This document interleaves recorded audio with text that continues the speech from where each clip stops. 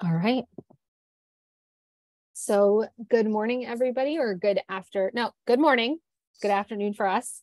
Uh, good morning, everybody. Welcome to our uh, Wednesday supportive housing webinar. Um, uh, today's webinar is going to be hosted by myself and my colleague Dawn, and we're going to be talking about supportive housing in transitional settings and how to how to prime people for success. I'm just going to read the title like it is, Dawn, because I love it. Fine. Um, so as I said, welcome. Uh, today's webinar is hosted by DBHR through the Washington State Healthcare Authority. Uh, this is an interactive training. Um, we are in webinar mode, so you can't have your camera on, but please be on the lookout.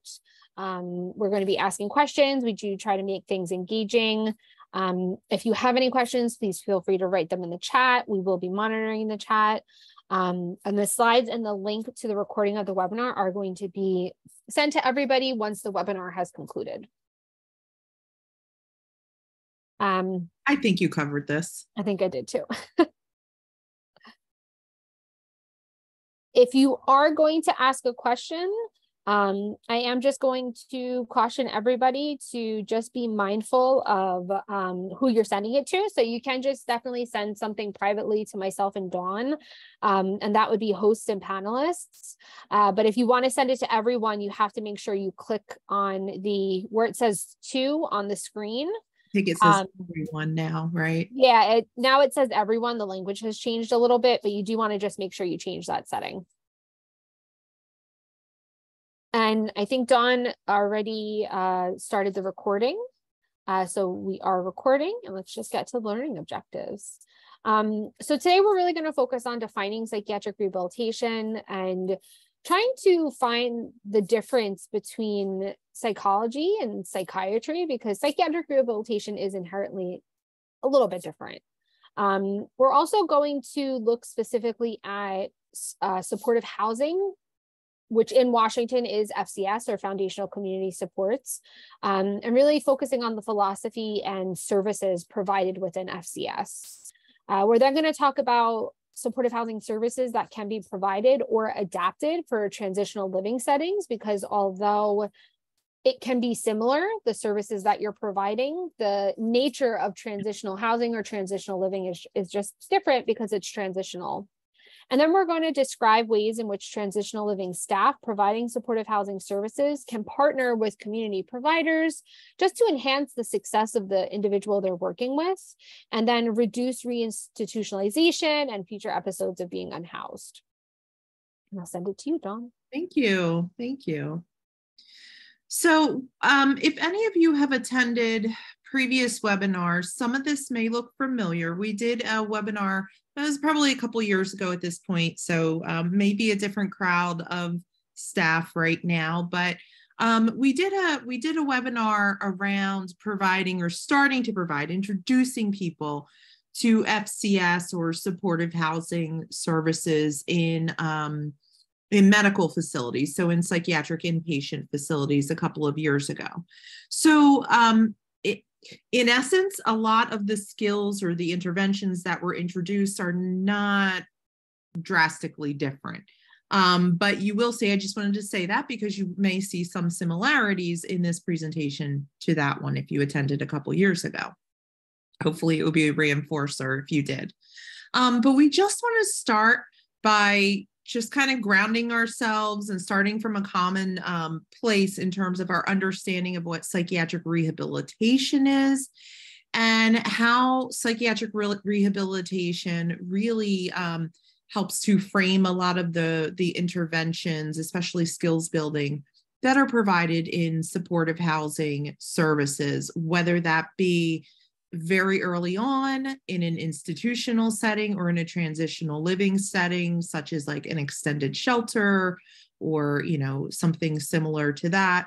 Um, even in an emergency shelter we could begin to introduce some of the um, supportive housing excuse me concepts and begin to use some of the inter- interventions especially around building insight and skills um, and when I talk about building insight and then subsequently skills, what I'm mostly talking about is the insight that the individual has into the strengths that they currently possess and needs that they have to help kind of maximize their success in the community.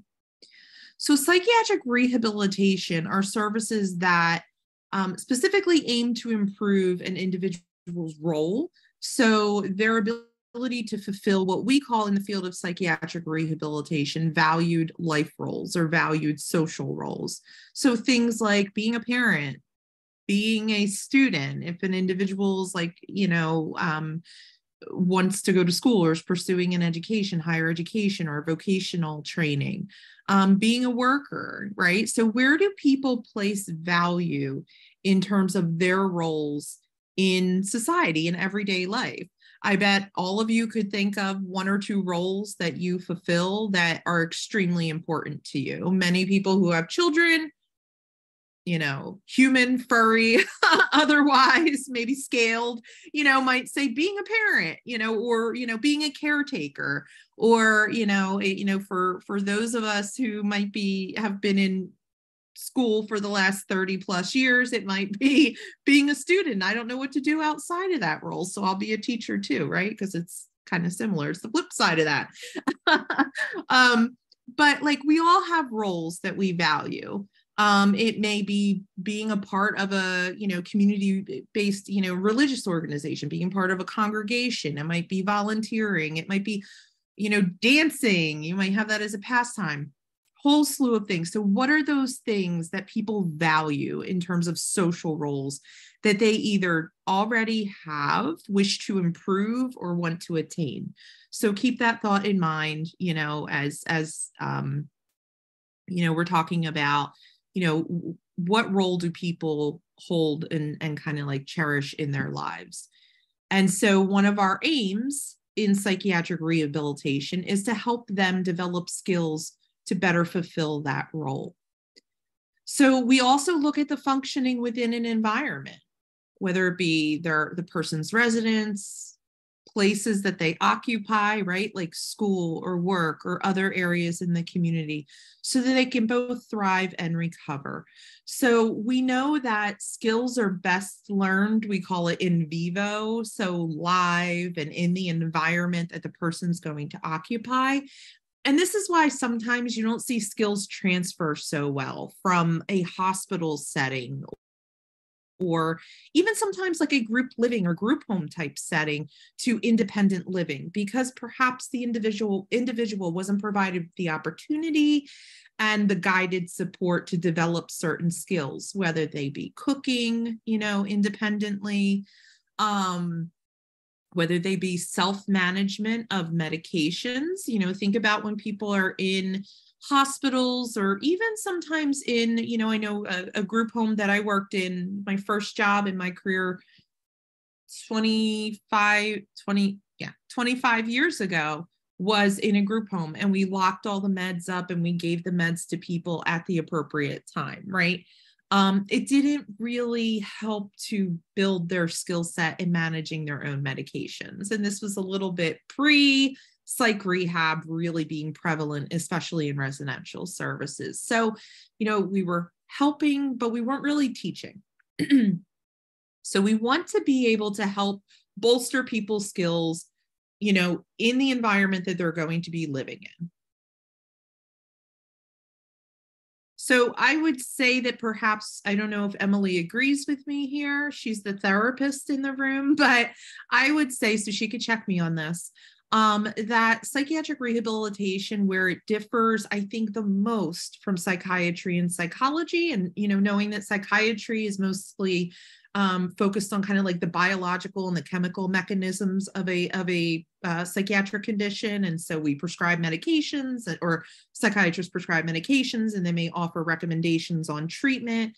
And psychiatrists and psychologists do talk therapy and work on you know kind of reframing thoughts and these types of things. And i think that where psychiatric rehabilitation differs is this you know real strong emphasis on skills building and also examining the person's you know kind of holistic life and where do they want to where do they feel the best? Where do they want to put that energy? What do they want to improve? Much less focused on management of the psychiatric condition.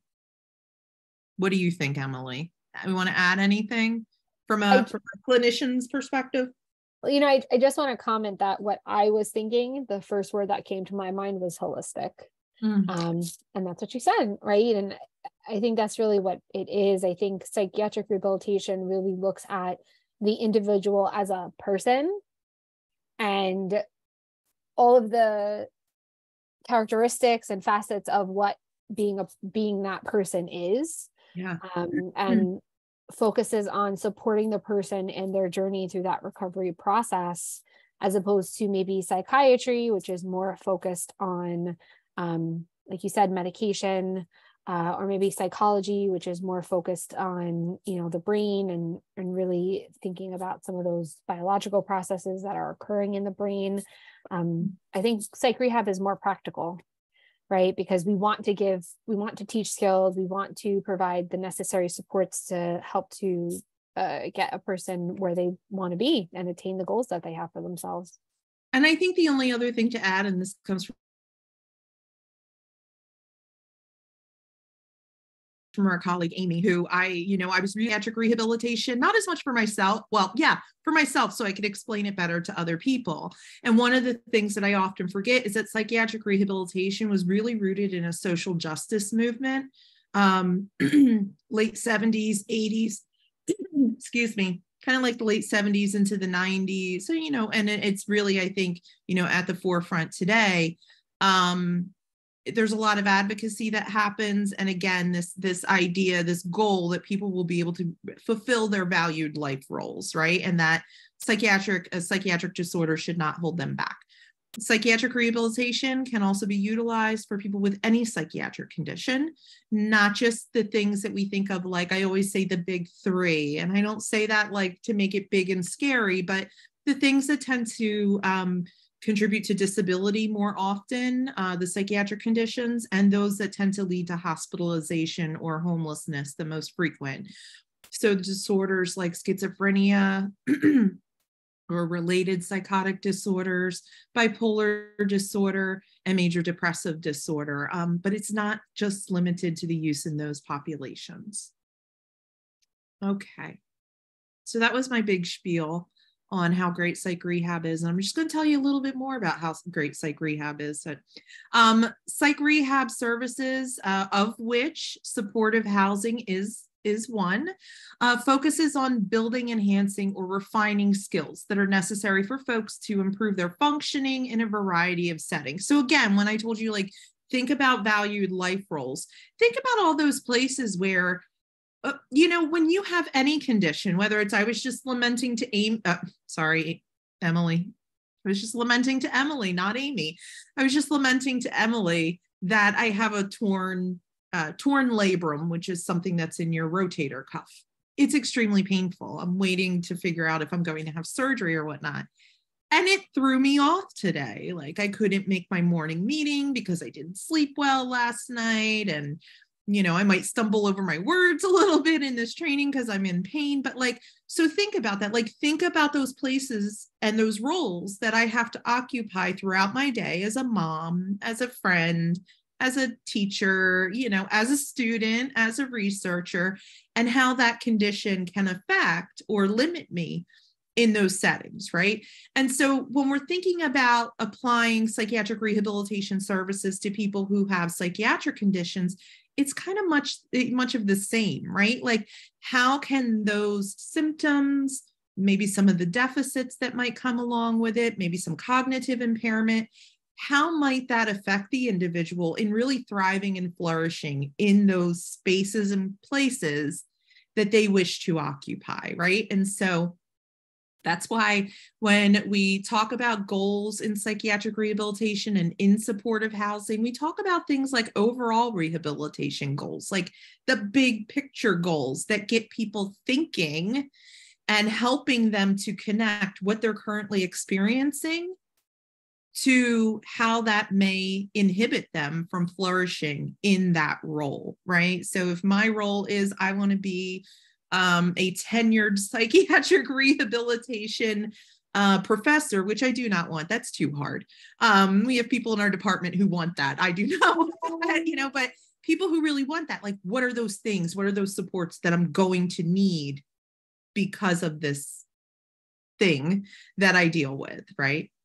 So um, we look at places like in the hospital when people are hospitalized. How can we help them build their autonomy and start to practice skills while they're in the hospital? Being in the hospital is probably the most difficult place to practice um, those independent living skills or skills that are going to improve the individual's opportunity to thrive in the community. It's not to say that they can't happen, but it's very difficult because it's such a controlled environment. Work, school, and in the home. So um, psychiatric rehabilitation not only provides you know services such as or or is seen through services such as supportive housing but you've probably also heard of other interventions that are psychiatric rehabilitation rooted like supported employment right um, and supported education so these are other areas that use these skills in targeted um, kind of contexts or settings to improve people's um, ability to flourish and thrive. I just said that, so we're going to move on. All right, so let's talk about supportive housing. So many of you can probably add to this list. And if you do have other thoughts about what are the things that you know um, we help individuals with in, in supportive housing, please feel free to put it in the chat. I know I have some and some that are off the record as well. Um, Emily and I very frequently share stories of the nobody told us that was going to be in our job description when we work when we signed up to work in supportive housing because both of us have a background in supportive housing. But I have to tell you, it's probably one of the best learning environments to to work in. Um, and and probably one of the environments that allows you to spend the most time when you're not running from crisis to crisis with individuals and I think really help impact their lives in a positive way. So, supportive housing services or FCS services are ongoing supports that are that help Medicaid eligible clients find and keep stable independent housing. So, the types of services that are included are things like housing assessments, um, identifying resources that an individual desires and needs to support them in the community um, helping with you know actually obtaining housing and navigating the leasing process. And beyond that actually understanding what the lease says in plain language right? So i think that one of the things that supportive housing excuse me my voice keeps going out.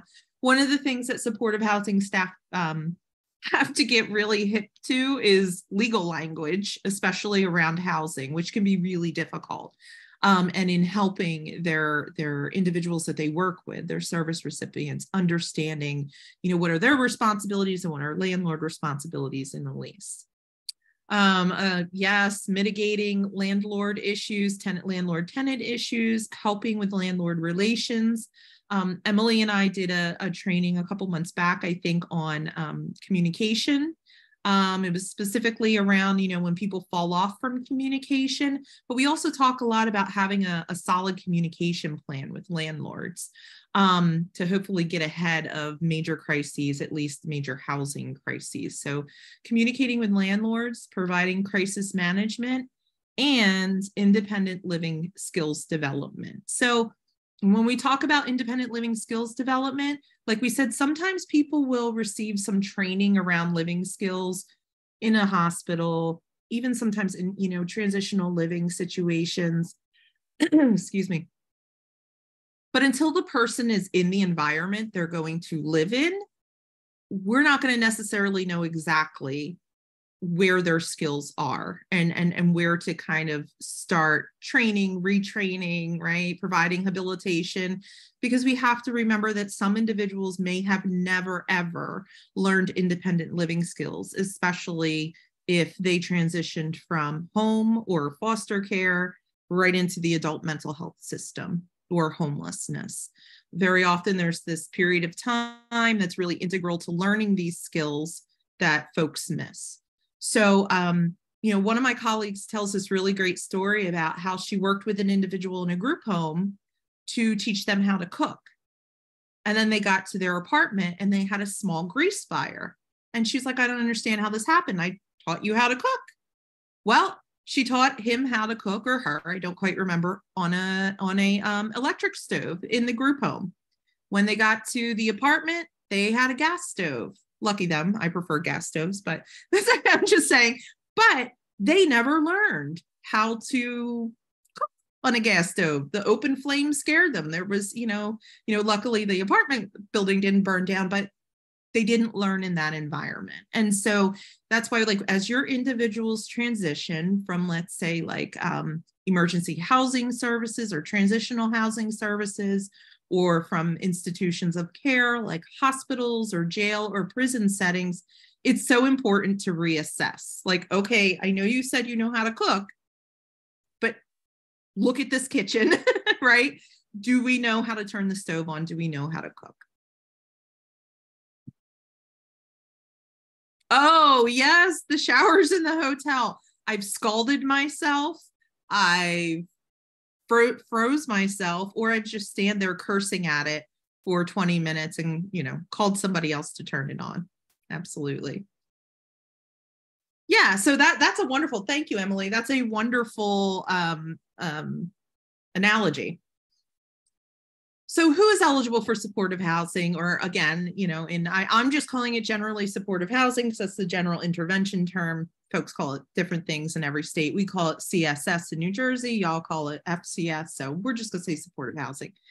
Um, individuals experiencing chronic, chronic homelessness as defined by the u.s department of housing and urban development or hud like those folks um, are, are eligible, folks who are dependent on costly and institutional care. So again, individuals who are, I like, I, and I'm going to use this term, languishing, because my my uh, primary job is to be a consultant to the state hospitals here in New Jersey. So those individuals who are in facilities like hospitals, um, who really no longer need to be there, right? You know, one of the standards across the country is that an individual is committed because they're a danger to themselves or others. There are very many people who sit in hospitals far beyond that that period who are no longer a danger to themselves or others, but for lack of safe and affordable housing, they don't leave the institutions.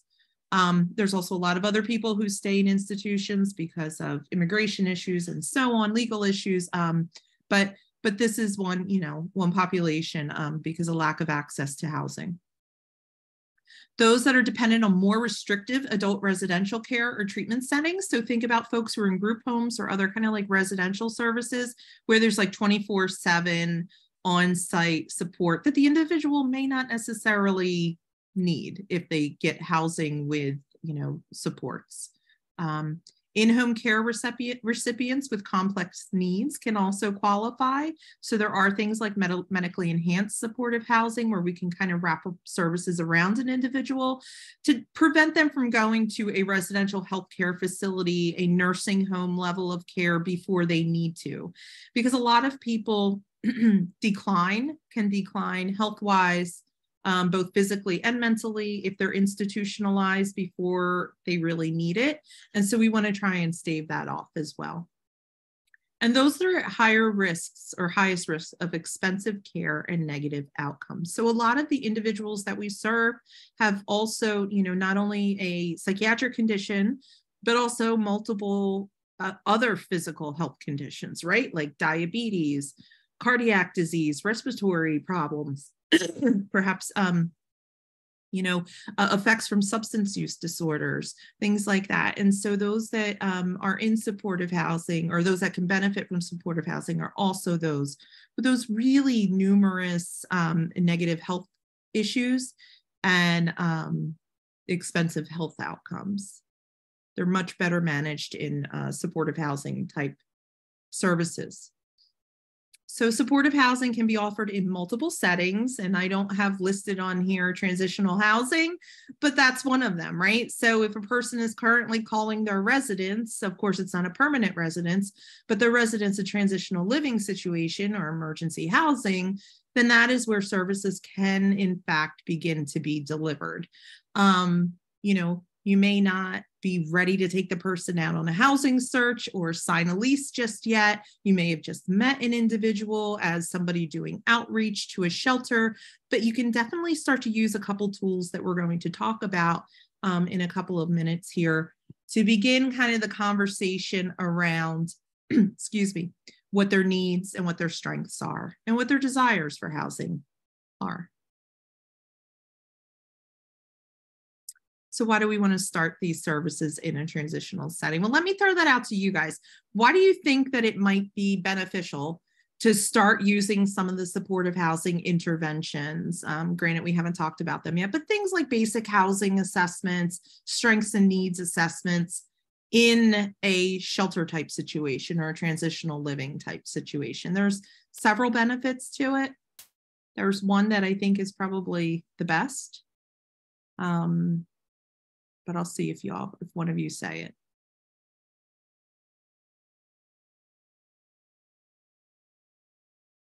Yeah, so like early preparation, right? You're just getting the person starting to think. Um, individuals may never been asked, you know, think about your ideal living situation and what would that look like? Or, you know, think about a time when you were living in the community and things were going well for you? What did that look like? Or think about a time when things weren't going so well. What was missing? Or what did your providers fail to do? Or what did you not do, you know, when that was happening? Um, one of the reasons why I think it's so important is that you begin to build a rapport with somebody, right? Like you will begin to find out from them as a person what are the things that are important to them and how you can fit in their life to help support those goals. So in transitional settings, you know, transitional settings offer great opportunities or environments for individuals to start to identify their housing preferences. You know, like I understand that housing, there's housing shortages everywhere. We're not, we're not immune to that in New Jersey. Um, because I'm sure you are not in Washington, as I know you are not in Washington. Um, but there are housing shortages everywhere housing is expensive. We're not always going to get everything that we want when we rent or release or we buy a home. But we want to start to find out from people like, do you do you want to live um, in a in an apartment complex? Do you, would you rather live in a building with just a few apartments? Would you rather, you know, um, uh, rent a studio because you're not sure that you can maintain the space of an apartment? Do you want to be on a bus route? Do you need to be on a bus route? I see we have a hand raised. Um, Natalie, would you like to speak? Let me find you. Oh, I don't see your hand up anymore, so never mind. Okay, no problem. Yeah, Kisha, like also that that you know encouragement. We're here with you. We're we're gonna we're gonna help you. It's big. It's scary. I mean it can be really scary for someone to transition from homelessness to housing. Um, i've had individuals who would sleep on the floor. They wouldn't use their bed. I had individuals who would you know have all of their belongings in the living room with them not unpack their belongings because of this you know They've been conditioned to have to move a lot from the spaces that they may have occupied um, in the streets or in, in, in other areas that weren't meant for human habitation, right? So, like that ability to just relax in a new environment can also be really difficult, right? And if a person has spent a lot of time unhoused, they have they may have developed a whole slew i'm sure they've developed a whole slew of skills to keep them as safe as possible right? And so now it's like they have to kind of transition and and and learn a new tool set of skills. Um excuse me. Providing supportive housing in this setting also provides hope to the individuals from others that recovery is possible. So as one of the, the participants said earlier, like I, I've got you, we're going to do this together. And I believe that you can recover and that you can thrive outside of this environment. Not only does it do that for them, it does that for the other people who, who see them move on, right? So I think that starting this conversation with people who are ready and able, to have this conversation about talking about future housing and the skills that they might need to acquire also sets an example for the other people in these types of settings that we're not expected to be here forever and that we can and will move on. Um, and so, and, and my favorite aspect of starting these any conversation in an earl at an earlier point in time is that you begin to build trust and a therapeutic rapport. Um, and one of the things that folks say almost in pretty much any sector or line of behavioral health services is they rate the quality of the services they provide on how good of a relationship they felt that they had with the provider of those services, right? So folks feel that they benefited the most from the providers who they had the best therapeutic rapport with, the the you know healthy boundaries, a, a, a nice level of trust. Those are the folks that you know um, service recipients report as helping them the most. And so it's about being genuine and and and, ni- and nice, be nice, honest and you know challenge folks. Okay so excuse me. Some sample tools and interventions that can be used in transitional settings with individuals. Um, one thing that we adapted at Rutgers for use in our state psychiatric hospital um, was it, it's called Tools for Moving On, but it was based on a free SAMHSA guidance in a toolkit. And I'm not sure that that toolkit is still out there because SAMHSA has recently kind of reconfigured their website and it's pretty awful. Um, and it's pretty hard to find a lot of resources. Um, but we will send along the tools for moving on manual. Again, remembering it was designed for use inside New Jersey state psychiatric hospitals. So you'll see a lot of New Jersey language. It's not like yo and all that kind of stuff. but I mean like New Jersey language as in, you know, specific to our housing options and our rules in our hospitals and how things happen. Um, but also it will be, you know, kind of geared towards an inpatient you know service recipient but you can absolutely use a lot of the worksheets in it and tools and interventions in it for individuals that you might be meeting with who are transitioning to housing from other non-inpatient settings. So just, just wanted to give you that caveat. So it's based on something called Tools for Tenants and we call it Tools for Moving On. So we'll show you some samples from that today. Um, illness management and recovery, which is also you can obtain IMR, the IMR manual for free from SAMHSA. There's a more recent version from Hazelden, the Hazelden Center, but that one is copyrighted and you have to pay for it. Um, but you, I think that you can still get the older um, edition from SAMHSA for free. And that has a lot of guidance. I think IMR is something like 14 modules, something like that, um, on everything from, you know, um, um, diagnosis education. So education on what an individual's diagnosis may be to provide you know some information on um, common symptoms common you know interventions that have been proven to be effective to um, medication self-management to goal exploration. There's just so much in it that helps to teach individuals with seri- uh, with psychiatric conditions how to manage their condition and recover. We can provide nutritional education that's also in IMR guidance on things like grocery shopping, bill paying. I don't know why I stopped at grocery shopping, but basic budgeting skills, basic financial management skills that unfortunately not even kids tend to get in in high school anymore. That was like the one great thing about home ec class baking cookies and learning how to make a budget. Um, but folks don't get these skills anymore. Even folks who don't have a psychiatric condition and you know um, are moving on to independent housing. Um, and like i said financial education. Conflict management skills. So some of the goals I need to move my little bar because I can't see things. All right. So when we talk about um, the one the one intervention that we're going to talk the most about is tools for moving on, which is based on tools for tenants. Um, and the goals of that is to help individual explore housing choices in the community. Like, what are the housing options out there? So, if you're going to use our manual, which again talks about New Jersey options, you're just going to want to kind of replace those options with what's out there and available in Washington. Um, I'm going to guess fairly similar, but you may have some, some spe- specific nuances that are different.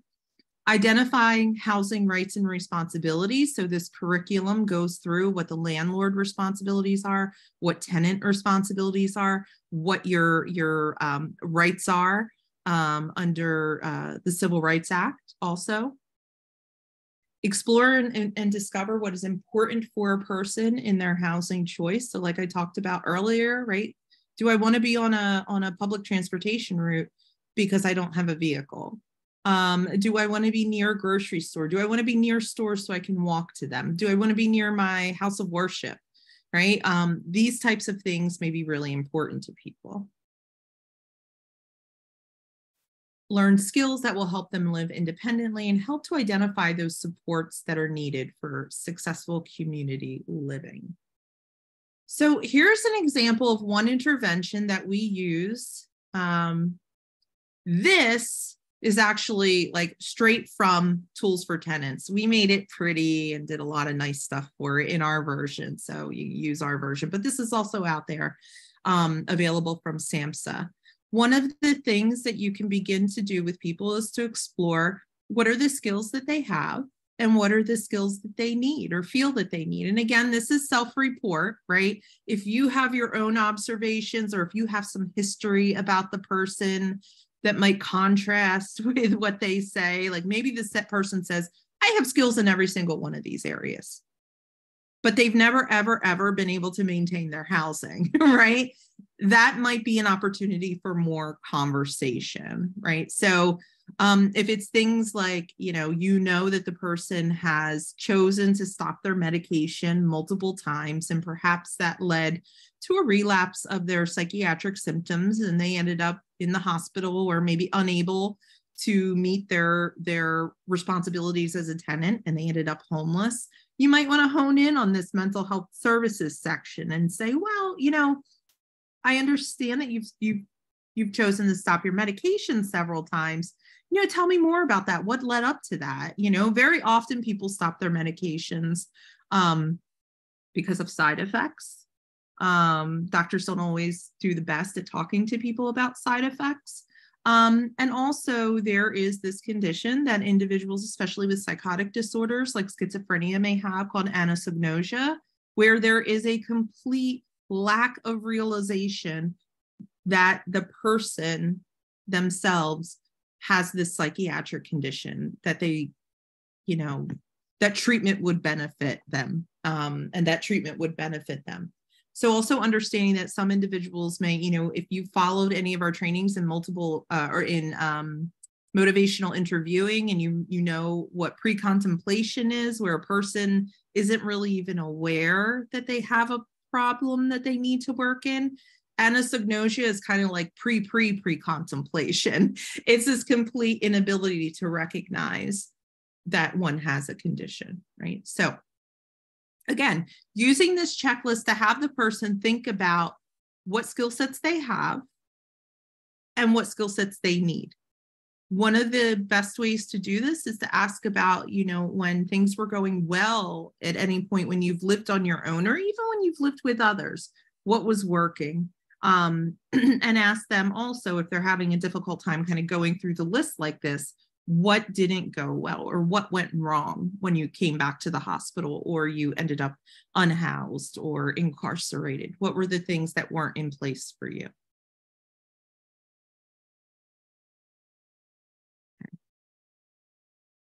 And what we do with individuals is once they work through this this skills kind of checklist is ask you know, how can we, how can the individuals that you're working with, whether here in your current setting or once you transition to the community, what are the things that you're going to need help with in maximizing your ability to thrive in the community? And to fulfill your valued social roles that you strive to occupy, right? If you want to be more present in your child's life and you haven't been able to do that for the last few years because you've been struggling with maybe an addiction or maybe maybe a substance use disorder, maybe, you know, a um, mental health um, uh, uh, situation, maybe, you know, unemployment, like what are the things that you're going to need so that we help you occupy that role as parent, as strong parent. Um, staff, you know, we also want to make people aware of how staff can help them. So, help with finding housing, help with applying for housing, help with getting settled, right? Help with keeping the housing so that individuals know that when they transition to supportive housing, it's not just I, I say but in bed, right? And then our job is done, right? You're you're in the housing. That means you're integrated, all good. No, like community integration isn't just occupying a residence. It's also, you know, that individual being connected to the resources and the supports in the community that they want to be connected with, the services and activities, leisure activities, a variety of things that they want to be connected with and engaging with. So it's also about helping individuals kind of like maximize that living situation and where they're at.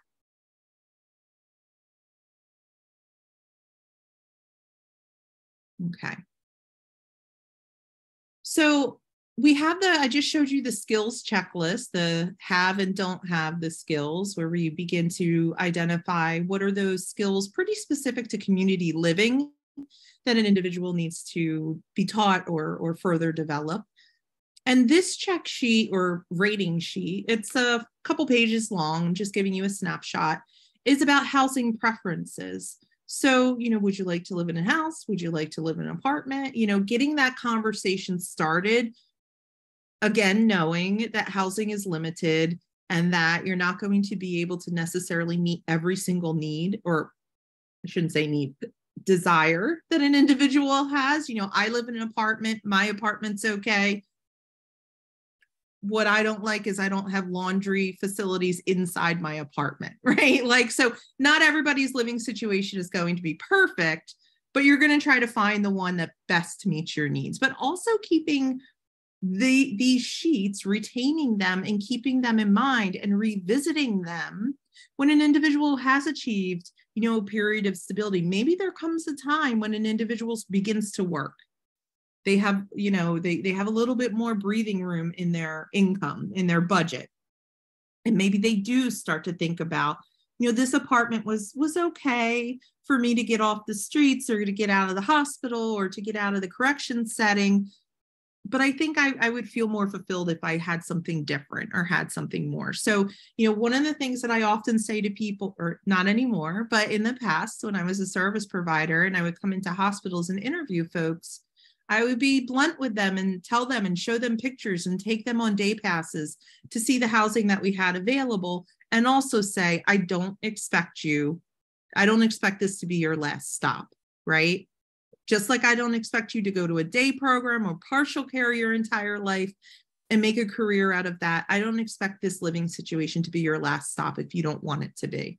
Right. So we always want to keep that door open. Um, that individuals should think about what they want and what they strive for, because that makes for really great goals um, that we can utilize down the road. So if you just look at this, it asks, it, it asks different types of questions and you get into it further about things like would you like to live on a public transportation route? Would you like to live close to a house of worship? Like these kinds of things. Would you like to live in a rural or urban? And i guess in in washington it would be frontier environment right? We ask all of those questions. Um, and then we ask the person to, to tell us like well what is your ideal housing goal and it's okay if they say, I want to own my own house. And you know that that realistically isn't possible for them at that time. That's okay. That's okay. It's just like when we're, we're talking about um, the development of a recovery plan or treatment plan. If a person says, I really strive to be the president of the United States, and you know that the person hasn't graduated college yet, maybe they're you know reading proficiency might be might be um, low um, maybe they have a really difficult time in social situations. I mean, we have some presidents that had difficult times in social situations. So I don't think that disbars or disqualifies a person. But when you know, oh gosh, like the odds are stacked against this person, it's okay. Like let them have this goal because I frequently, you can ask them at a later time, what is it about that living situation? Or what is it about that big aspirational goal to be president that is appealing to you? right? So and then we ask them to have like well what's your second goal? Or what's your what's your second choice? Right? And it might be well i'll suck it up and i'll live in an apartment for a while if i have to right? So we want to ask them like i understand like you might not be able to get your ideal living situation right now. But what would be your ideal living situation and that's also important because sometimes there are elements of that ideal living situation that one can bring into where they're actual they're actually living. So one of the things that I loved when I lived in a house was having a garden that I could grow herbs and tomatoes. I had to have my herbs and tomatoes. Everybody in New Jersey grows herbs and tomatoes. I needed to do it. I'm in an apartment and I was like, wow, I really can't do that, but I have a balcony. This year I didn't do it because it was too ungodly hot, but last year I grew beautiful tomatoes and basil and cilantro and all that fun stuff. So, like, there are ways, right, to incorporate those things that the person desires out of that ideal situation to make where they're at a little bit more comfortable. We also want to find out what are the things that are most important to the person in housing. Is it quiet? Then they wouldn't live in my apartment complex. I'm telling you that much. Um, is it again like i said living in a place where they see a lot of green right? That could be very therapeutic living in a place where they can have their pet. If i didn't have my kitty cat i'd feel awfully alone right? So like those types of things. Emily do you have anything to add? Because i need to take a sip. Yeah so i would also just add that um, you might even be surprised uh, something that happens a lot here in New Jersey is that sometimes individuals have to make a choice to live someplace that is not their ideal. Um, and may not even end, may not even be the region of the state that they're they were living in prior to being right. Yeah. Right. And I've seen that work both ways. I've seen it work in the way that the individual was miserable and you know we ended up having to support them in finding housing in the county in which they really wanted to live in. Um, but i've also seen that happen where you know the, maybe the client lived in a more um, like urban setting here in new jersey and then moved to an area that was less urban and maybe a little bit more rural because we do have very rural places in new jersey and they actually really liked it um, so sometimes just you know going through that experience can also help to give the person information. And you know if you have the ability to you know take the client or take the consumer to the town walk around the town go to where the parks are go to where you know the apartment building might be and just stay there for a little bit you know spend like a you know 30 45 minutes there and just see what the person thinks of it and what some of their impressions are that could also be helpful in exploring this process because sometimes we end up liking things we didn't think we would. Yeah. Yeah absolutely. Absolutely. You know i often made the assumption when i was interviewing potential supportive housing um, clients in the hospital that oh wow you you i i went to the the, the hospital that i would consult with was in, our, in the southern region of our state. And so Atlantic City sent a lot of people to the psychiatric hospital. But Atlantic City is a place where people come to from all over the state, the tri state area, all over the country, sometimes internationally, which I don't understand, but a lot of people come here. So they may have originated from Essex County, which is bordering with New York City, right? That's where Newark is in northern New Jersey. And I would assume, oh, you want to go back to Essex County because that was your home.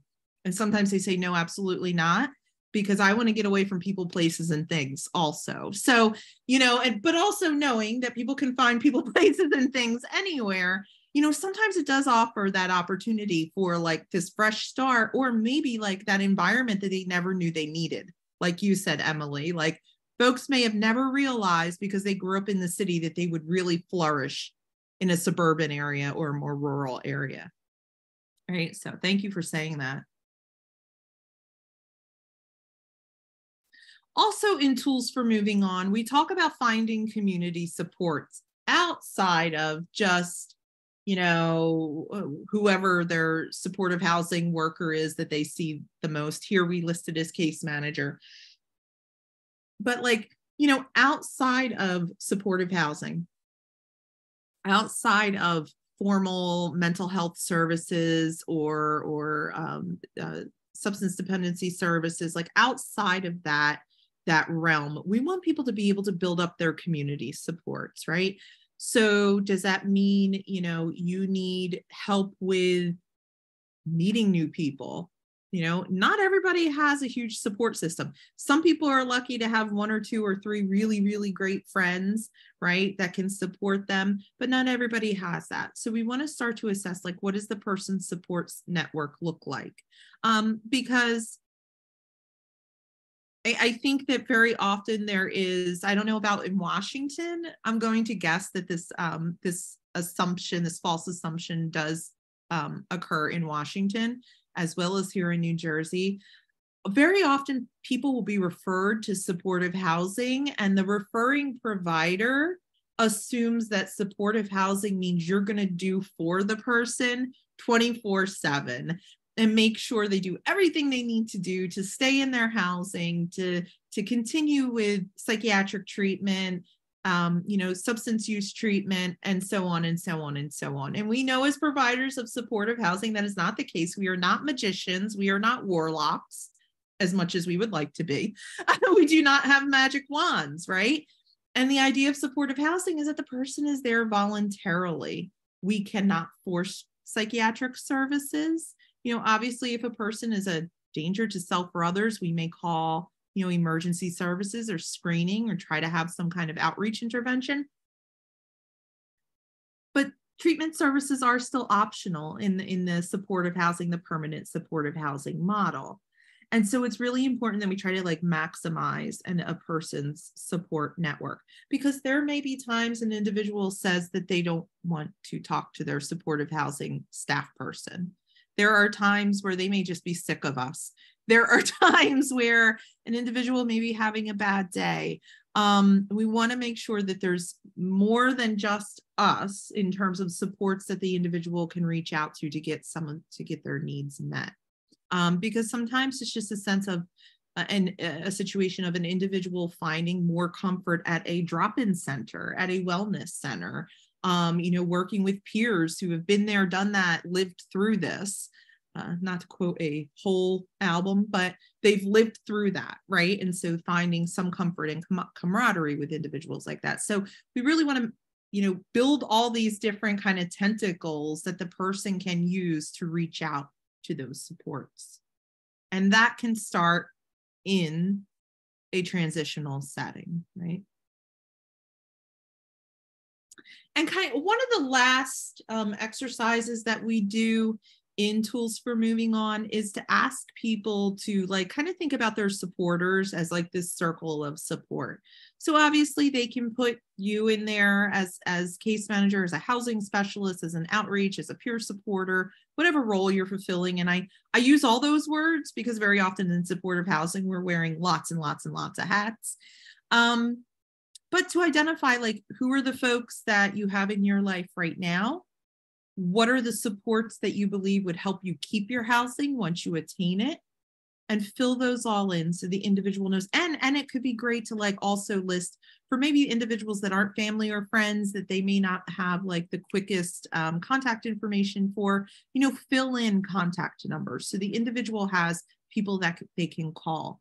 Um, one of the things that individuals leaving the psychiatric hospitals in new jersey started doing is once they completed the tools for moving on manual, because they would be filling in their work along the way, and this is delivered in a group format. Um, it's a group curriculum inside the New Jersey State Psychiatric Hospitals.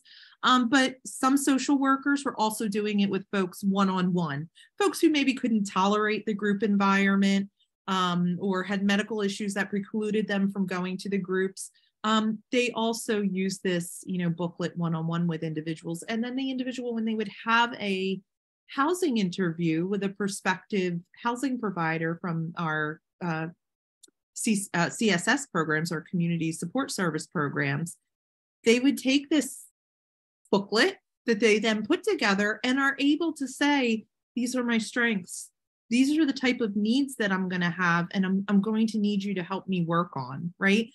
Um, these are the supporters that I have. And these are the other ways that I think I need to be supported. Because when I was in housing the last time, it didn't work out so well. And here's how, right? So it also, it does like a, it's a double benefit. It's a benefit for the individual who's being served because it's getting them to kind of look inward and gain some insight into their strengths and their needs and their preferences. But also, it's going to help that provider of services, which may or may not be you moving forward, whether you follow that person into the community or not. But it would be a great handoff for that next provider of services to have a snapshot of what the person's housing needs and preferences are. It really, really helps. We got feedback here in New Jersey that it helps with the initial treatment plan or recovery plan, we call it here in New Jersey, the IRP. It helps the folks filling those out because they have this input already from the individual. And so it's really great, you know, in terms of allowing the individual to have a voice in what they're going to need from that next provider. And we always want to encourage that the individual having a voice in the room and shared decision making. So let's talk briefly about illness management and recovery. Again, that is another free resource that is available from SAMHSA. Um, hopefully it's still up and available. Um, but it is a like a 14 module manual. Um, and I may be fibbing a little bit on that number, but I know because like we developed a couple new ones for use in our hospitals. Um, here because they don't talk too much about things like PTSD. And we added some information on PTSD, trauma. Um, but it covers a wide range of topics targeted at improving knowledge in the individual who is receiving services. So providing them with knowledge and, and, and insight. And also, you know, getting them to identify um, ways in which they can better self-manage the psychiatric condition, substance use condition that they may be living with. So we talk about the role of medication in managing symptoms, um, identifying and dealing with side effects, making informed decisions about medication, and getting the best results from medication. And this is specifically from the one module called Behavioral Tailoring for Medication. It's a very fairly short module, but it's a really good idea to start talking to people who are in either, you know, any kind of institutional setting, especially those settings where their medications are being managed or partially managed for them, um, about do you know what medications you're taking? Can you identify them by sight? Do you know what each of them are supposed to do for you? Do they do that for you? Right? Because I think that um, a lot of people become like passive participants in psychiatric services at times, right? And so we want people to be able to identify whether or not medications are actually helping them. Um, finding out if individuals have side effects, letting them know what the common side effects are. And please do not leave out, as someone who teaches about sexual health, please do not te- leave out sexual dysfunction because um, even among individuals who are over the age of 65, Sexual dysfunction is the number one reason why they stop taking antidepressants. It's very rarely discussed with recipients who are being prescribed medications, unfortunately. And then it, then it takes the person by surprise and they don't know what to do about it. And there's a fair amount of shame in our culture around, you know, sexual activity. And so they may be scared to even talk or feel shame in talking to their doctor about them. So I'm not saying you lead with what the sexual side effects are going to be if, if it's the first time that you talk to the person, but making them aware that this is one of many types of side effects and it can be fixed, helped, right, with some tweaks to medication and possibly the addition of other medications.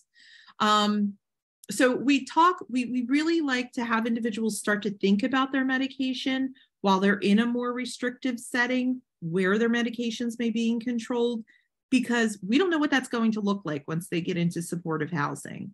Um, I know there's different models of supportive housing out there. The one that I worked in, we really walked the line of doing things legally versus illegally by locking people's medications up and then taking them out to them um, either at every medication administration time or some people got meds every three days um, but it's you're walking this really fine line and putting people who aren't medical staff into some really kind of sketchy roles and so we really want to start to you know um, see how can we help the person self-manage their medications if they've never done that before or if they've had challenges with doing that before. So if you're going to use something from IMR, I would definitely recommend this module because it will help you get to know where that person is in their understanding of what medications they're taking, their um, kind of agreement with the medications that they're prescribed, and what side effects they may have and what challenges you may you may see in the person being able to continue to you know take their meds as prescribed um, in the community that may also you know talking about medication may also clue you into whether the person has that. We talked about that condition or symptom of psychotic disorders called anosognosia. You know people will sometimes say things like they put me on this medication in the hospital or in the jail or in the emergency room but i don't need it and as soon as i get out of here i'm going to stop taking it. There's your sign. Right? So you want to have a little bit more conversation around that um a medication is is is their right right? They they could choose to take it or to not take it but at least it provides you with some insight of where the person is. Um so we also want to and this is this is especially important if you're not going to be the person that's going to follow the the individual into the community. You want to start to you know partner provide opportunities for the individual that you're working with to meet that housing provider, to meet that FCS provider in the community that may follow them more long term, right? So, you know, there may be opportunities for to take the person on a visit, there may be opportunities to bring staff to the facility if you're that person, or if you're going to at least follow the person into the community and then do a warm handoff to, you know, another more permanent worker in the community, then that's great. Um, but it provides a great kind of segue or transition into the community that's supported rather than very abrupt. Another thing that we have to think about um, with individuals who are transitioning from, you know, unhoused situations or um, uh, um, correction settings or hospital settings, sorry, lost my train of thought, is that people have been traumatized throughout our system, right? Not only have they probably experienced early childhood trauma or adverse life events, you know, throughout their life, which probably contributed to their current life circumstances and their psychiatric condition and any substance use disorders. But the system can also be traumatic.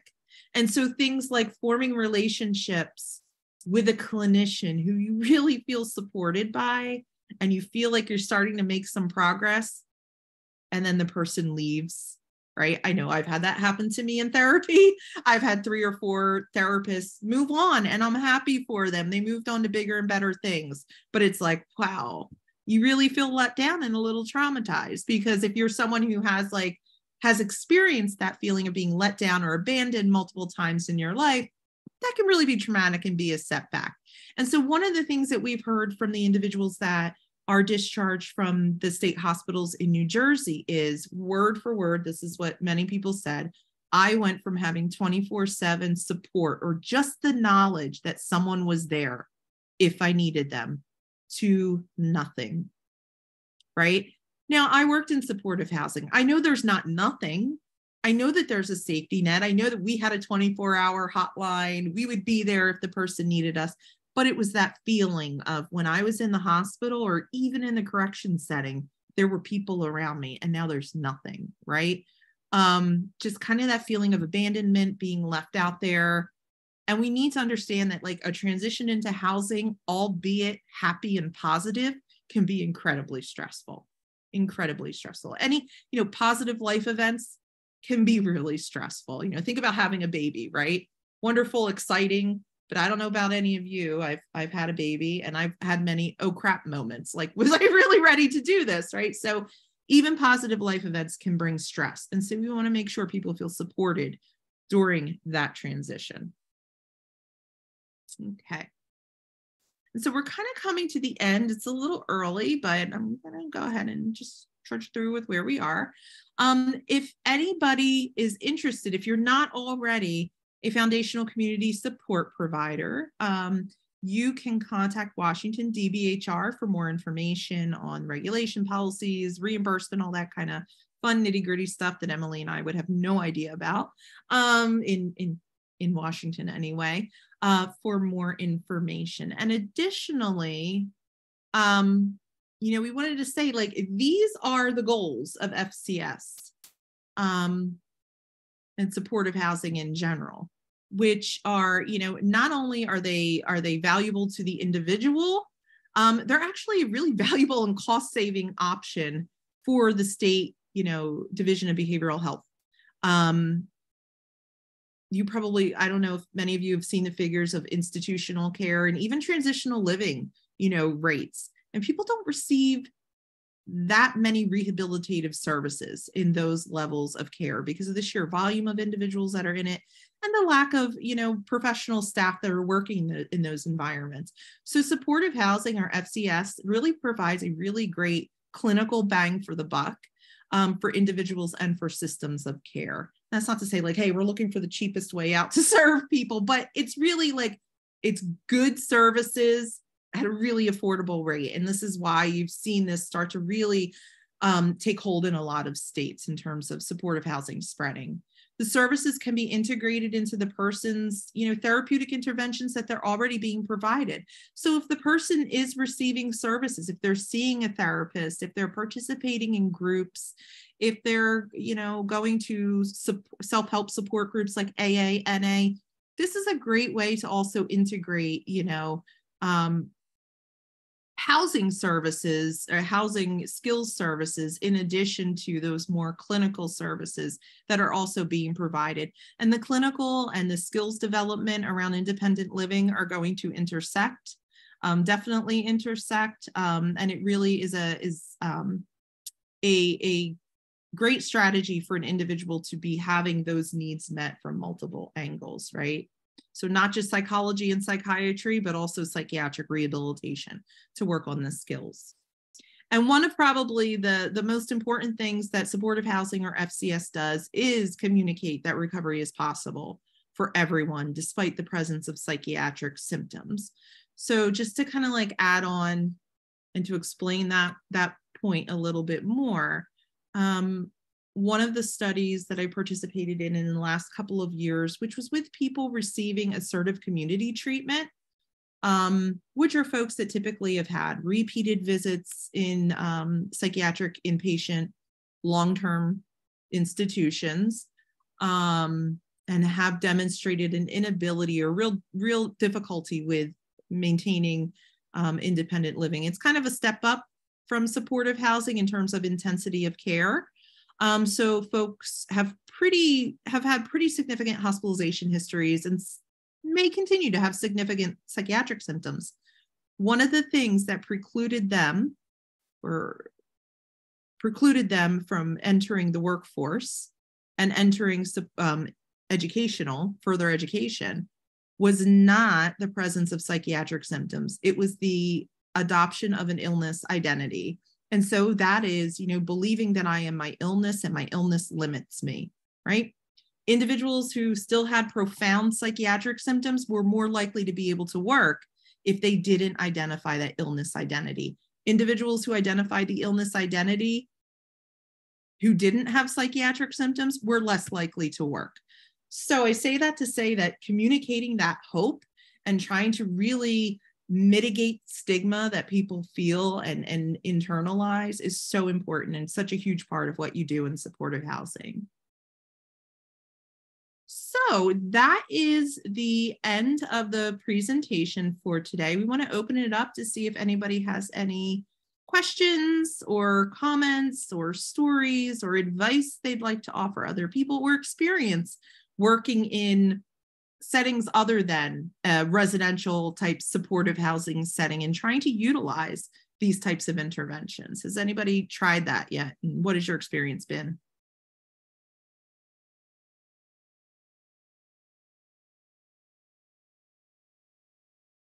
Yes, we will send that TFMO resource along.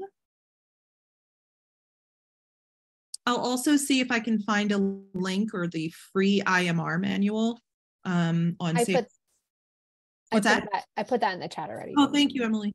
Mhm. Um, and you'll be happy to hear that the um, supportive housing manual is back up on the SAMHSA website. Oh, yay. It was so bizarre. So, everybody, if you don't know, SAMHSA usually, um, they have always had toolkits and ev- they were called evidence based practice toolkits. So, if you wanted to start a supportive housing program, yeah, the Um, toolkit. They're going to expect you to do it the right way, right? If you want to be reimbursed. well, about a month or two ago, they took down all their evidence based toolkits because they said they weren't up to date enough. Hmm. Nobody had anything. So that was interesting. So it's great to know they have some stuff back up. Yeah. So in the chat is the link specifically to the tool tools for tenants portion of the toolkit for um, supportive housing, and then the link for the IMR in its entirety.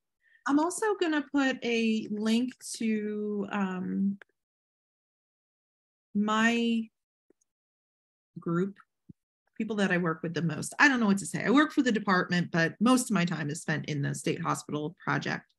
Um, I'm going to put a link to our website because it has a lot of cool uh, training resources on it that are free of charge. You can sign up for um, monthly, we call them prep webinars, which are psychiatric rehabilitation educational programs. We love acronyms. We love them in the mental health field, don't we? um, but they are open to everyone. We initially started them just for the state psychiatric hospital staff in New Jersey. Then we recently expanded it nationally to uh, state hospitals across the country. And now we're just kind of welcoming everybody because we just wanted to test it out small scale before we opened it up to everyone. But those are also available. the mental health field does like uh, acronyms, Dawn, but not as much as Tom. My whole first year in the in the field was spent learning acronyms. Mm. So if anyone uh, last call for comments, requests, um, and I guess we could take this opportunity to say if you have any ideas for future webinars that you may want to see, you know, we're asked sometimes to recycle some of our webinars because as you know, there's a lot of turnover in the field. Um, please feel free to shoot us an email. Our emails are on the um, the slide deck that you'll receive please like shoot us you know say like we're we're struggling with this this topic in washington right now. Do you have any um, information on that? And we'll try our best to deliver. If not emily and i then somebody in our in our um, Mhm. area that has skills and expertise in it. I see angela raised her hand. Would you like to talk angela? Yeah, my, my, um, what I'd like to learn more about, because in our area and in my, my career, I have worked closely alongside the chronically homeless. And when I say chronically homeless, I mean 30 years plus, you know, and, yeah. and not all of them are what you would think is uh, um, the degree of mental health. I mean, of course, the mental health is Yeah. always there, whether they like to even recognize it. But Sure. to how to i mean it seems like it is a, a area that is so diverse and so complex that of course it's going to be different with everyone but the residual effects of just like you know i figure after one year of homelessness you're chronically homeless or consider chronically You homeless. yeah. and the different degrees of i mean pulling or not pulling them but guiding them out of that. You know um i have seen um a lot of people it- it's just a very difficult area to deal with. It's difficult for you as a staff person right Uh, yeah, well, difficult for all of us, but um, I mean, just when I my last job working with the chronically homeless, I always make the joke I was kind of jumped in, you know, like it was a gang that I didn't understand, and I wasn't looked at as belonged there, you know, or, or had a, you know, had or deserved a part of it because they become a family and um and well integrated part of society, and um, it's just so everybody's so different and the, the rules and the places that we go or I work or have to deal with them change with the entity that I'm working for or the area, the county, the, the city. It's just so, I don't think that as a society, society has really gotten a grip on what to do. And uh, our area, we deal with a lot, a lot of chronically homeless. And I believe our politicians, should I say that, aren't quite ready to recognize the chronic yeah. homelessness. I mean, they will say, okay, they're chronically homeless. Okay. And they want to sweep them off to the side um, and not really want to focus on it. Or they don't even have a clue yeah. the diverse complexities of this. So I would love a webinar on just, you know, the, just pulling like five of the complexities would be nice and like, like how the, to deal with them. Yeah like engagement strategies for chronically yeah, yeah and i i i wholeheartedly agree. I think mm-hmm. you you know here in new jersey as well i think that you know people just people in charge i'll say you know of making decisions very often think well we made housing available right? Like yeah the people just accepting it you know? And it's like you said when you touch on like people have created families they've created communities they've created cultures you know mm-hmm. uh, while being unhoused um because you have to right to survive you have to do that. And and people naturally do that. Um and probably if any one of us were in that situation we would and yeah but it creates such a difficult um way in for those of us who yeah. want to help um, and so, like, one of the things here in New Jersey that one of the most successful things that I found was like partnering with other organizations who already kind of have their foot in the door. We have a, I, I live in Burlington County in New Jersey, which is a fair uh, suburban, but we have some real rural areas because the Pine Barrens are also in our county. And I would partner with a Christian organization that was located in the Pine Barrens to literally this this pastor would go out into the woods and bring her backpack of food and bring toiletries and you know things like single use right. toothbrushes and things like that mm-hmm. but it still took me about six months for anyone to talk to me yeah. like the unhoused individuals were out who were out there because they didn't trust me right, right um and so like but eventually we made headway and we started getting referrals and she was able to vouch for us right to other people. They'd say i don't know if i could trust that person but because they had trust in her they then kind of sort of trusted us. But um it is hard and i think that we could definitely put together um something maybe for the fall um mm-hmm. around you know engaging the chronically homeless population. So I, I, I from getting jumped in, I'll say my joke I like to make. Um, and my it's been many years now since I started working with the chronically homeless. Now, and I have a lived experience. Not I wasn't chronically homeless, and I would say that I was more. It was a chosen lifestyle because of my past and the choices I made. Um, but I always had one alternative, my mom, which I hid from. But that's different. It's a different mindset, right? Um, but the one thing that is um, been uh, common when I speak to those who have opened up with me, and that is that when they are out there in their homelessness, um, they are treated as if they are not capable of doing certain tasks or b- being held to a standard of just general manners or, or or common sense or whatever it might be. And so that a lot of them have fallen into acting out like a child would do because of the the responses they have had.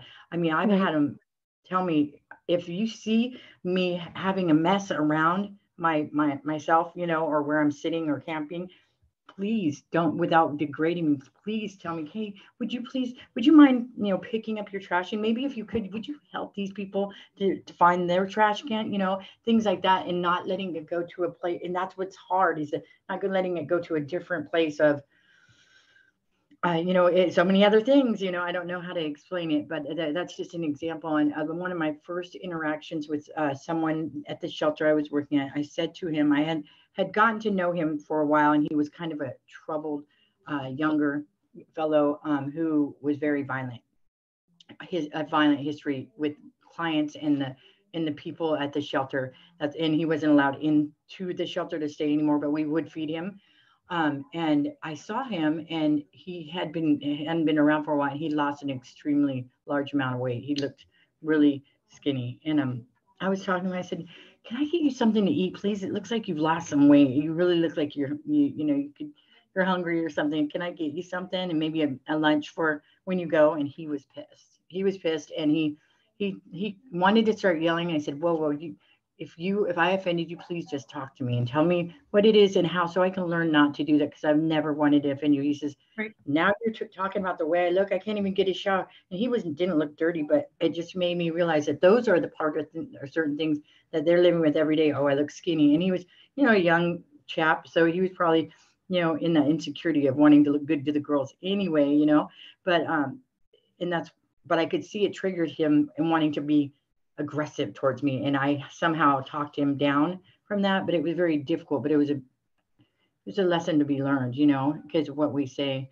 I try not to say those and them uh, when i'm speaking about the homeless but it's sometimes hard because that's not all that they are you know so I'm, i just would like to see some research on it you know and i don't know if we'll ever quite get it but i think that with a group we can work towards it and we're going to have to get beat down just as much as they have probably. you know, so that, that's something I'd like to see. Thank you. I appreciate that feedback, yeah. sharing your experience as well. I think that's helpful. Angela?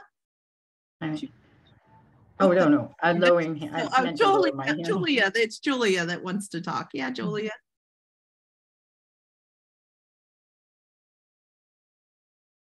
You should be able to talk now, hon. Okay. I'm like, oh, I can't find a place to unmute. it's okay. Me too. Yeah. No, I just wanted to point out, and I know like um, you know, in Washington, we've, and it's probably more than just Washington, but the biggest struggle we have is there's like some serious barriers that we haven't not found a way to bridge.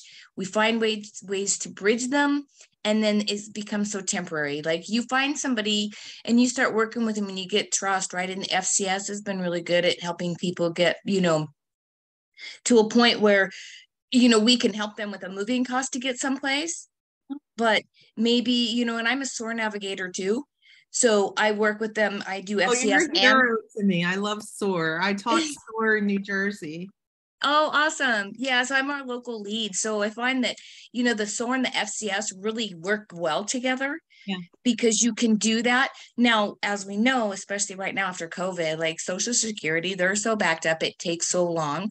So we have gaps. Like people won't take them because, yeah, okay, you can pay for their help with their moving, but what are they going to do after that? Right. Mm-hmm. And on top of that, like our, our, um, criteria for considering someone homeless to get onto like coordinated entry, things like that, are ridiculous. You know, somebody has to be literally homeless living in their car. And we, so if you think about the preventative side, maybe somebody's in transitional housing, we want to move them forward. Like there's different areas and different things that we can't access for them because of the criteria to be homeless and it's different for different things like i wish they could all have the SOAR model for being homeless right yeah because yeah. that really covers all of it because someone can be homeless but if but they're couch surfing. Well they've been lucky enough to have friends and things like that and they've done that for years right? That always will come to an end. But to get somebody on coordinated entry which opens doors for them they don't qualify for it. And I'm taking this down as notes because we meet with we meet with folks in Washington. Um, mm-hmm. I don't know what their decision level, you know, like what kind of decisions they make or whatever, but um, we'll definitely pass that on as a, as well. That you know, there's a lot of doors shut unless an individual, you know, meets this really finite definition of homeless. Um, mm-hmm had the same struggles here in New Jersey too, and um, it mm-hmm. put providers in sometimes some unethical positions. I'm just going to It- say of like It fudging, does. Right of fudging mm-hmm. like that provider that I told you about. Poor woman, right? She ran. She was a pastor and ran a, a Christian organization. I'd be like, could you give me this document that says this person was in your facility?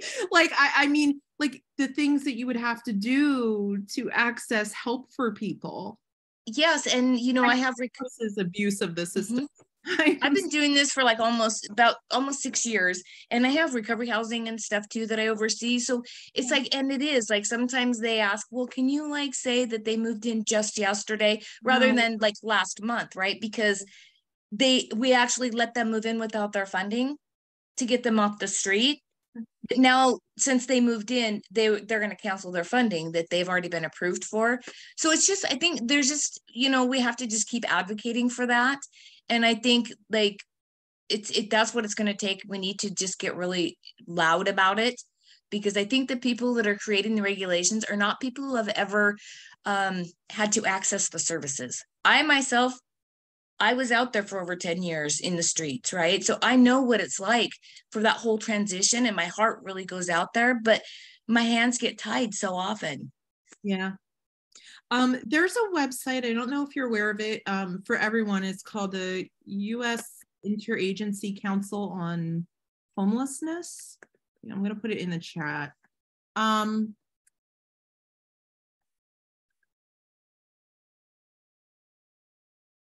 and I'm putting that in the chat because they do a lot of research around homelessness and and um, you know mitigation uh, interventions like supportive housing and things like that. And that might be a really good place to get your voice heard at a more national level. Um, Yeah. because also remember that all of this rolls down from pretty much housing and urban development. And Um, that's where it starts. There's that's where the biggest problems Yeah, lies their yeah. regulations that they set Yeah, absolutely. I agree. So my big goal has always been to work for HUD and make changes for the people that we serve. Right. Amen But I'm a little too old, I think, and I don't think I would um, have the patience for it anymore. But yeah, right advocacy needs to be though. I agree. Thank you. Thank you everyone for contributing. Um, if there is there anything else that folks want to say? So we have taken down some notes on um the request there. Andrea I got yours. Um, and I definitely took notes on, oh, the, yep, I will. The link for the behavioral tailoring for medication resource, that will actually be in the IMR, Illness Management and Recovery Manual. So it's a part of that. Just answering some questions in chat. So um, if there are no other questions, we're going to go ahead and end. And we will see you all in August. Sorry, summertime. I never know what month we're in. Thank you all. Take care. thank Take you Take care, everybody.